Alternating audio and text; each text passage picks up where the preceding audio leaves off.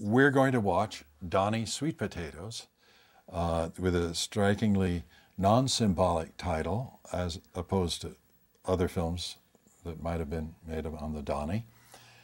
This is the core of the curriculum project that was doing a uh, national curriculum on uh, social sciences and starting with anthropology and starting with starting with uh, Netsilik Eskimo for the first year. Second year was going to be on horticulture. So they wanted a uh, they wanted a footage on horticulture, which is uh, the first stage, so to speak, of growing crops, and where you don't use plows, you don't use draft animals, you just have digging sticks, basically. And that's what the Dani had. So the Dani were perfect for that. So I shot this. By then, I had done uh, a lot of observations on sweet potatoes, and I'd done, and I knew all the steps. So I uh, shot the footage for that, uh, brought it home, back to Cambridge in '63, uh, and uh, turned it into first a one-hour film, and then uh, working it through, showing it to people and talking the narration, and it went from one hour down to 19 minutes. So what we'll see is a 19-minute film that starts with uh, the beginning and goes through the eating of sweet potatoes. Uh, so why don't we start?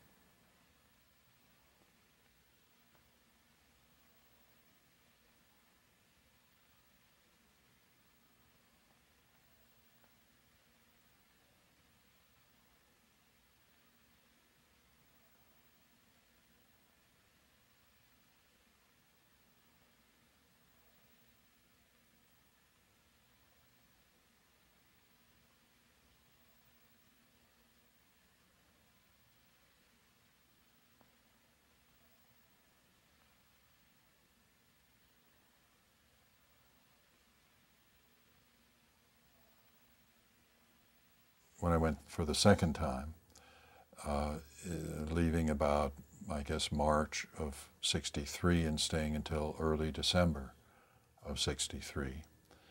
And I used 16 millimeter Bolex uh, movie camera. All the different members of the expedition, each writing or filming or photographing, uh, we really very quickly uh, had a tremendous literature on this one group of Dani. And this was, uh, this man was my closest friend, best informant. He was not a great warrior, but a really smart man. And uh, he had told us when Gardner first surveyed the area, he and Broekhuizen, the Dutch patrol officer who helped us very much in getting started. They went out uh, in about March, uh, maybe February, uh, to look for a place where the expedition could stay. And uh, came into the Dugum neighborhood. And it was this man who walked up and said, You can stay here. I mean, he quickly saw that it was greatly to his advantage to have these people, whoever they were, whatever they were doing, uh, staying. But he told us his name was Wally. Well, in fact, his name was Umwe. But he didn't know what kind of trouble he might get into.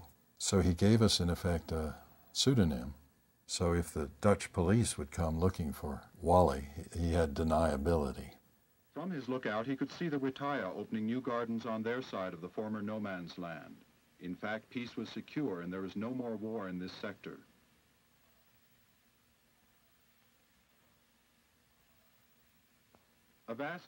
The Dutch and then the Indonesians had pacified, stopped the warfare. So there were large amounts of no man's, old no man's land that could now be opened up again. And that's what these people are doing.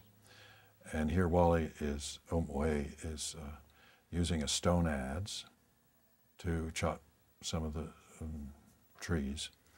This was a, a, totally opposed shot. I mean, they were going to clear this anyway, but I asked them at one point to do that. And uh, forever afterwards, that was known as uh, Karoro's field. They called me, Karl became Indani Karoro. And that's about the only posed shot I've got.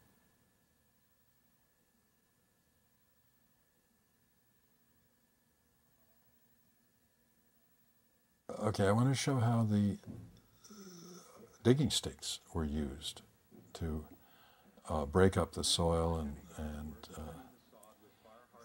very effective for what they were. The women would come out and they were uh, burning things. In 63, the Dutch had brought in these little white pigs, and the Dani thought that was great.